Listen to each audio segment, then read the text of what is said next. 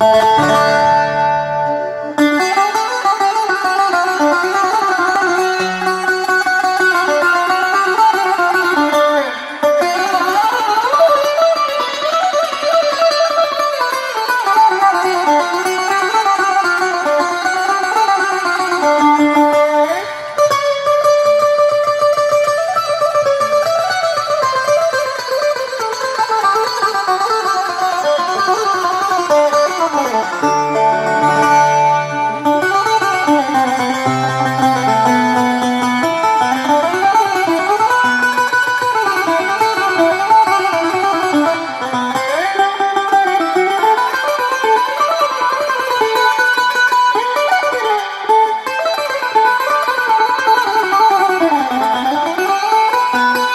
Για περίμενε λίγο.